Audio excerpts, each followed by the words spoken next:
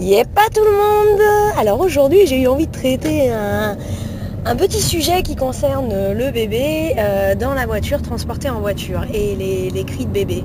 Donc voilà, ça c'est juste un rappel de bonne pratique parce que euh, quand vous avez un bébé qui est dans la voiture, euh, vous êtes très très tenté de venir le soulager parce qu'il pleure en lui remettant la titine.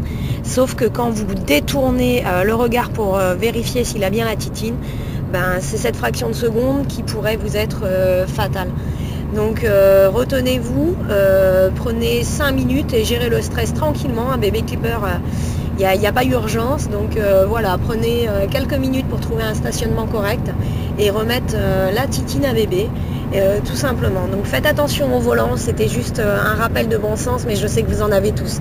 Allez, à bientôt, n'y pas, pas votre sécurité avant tout et celle de vos petits bouts. Ciao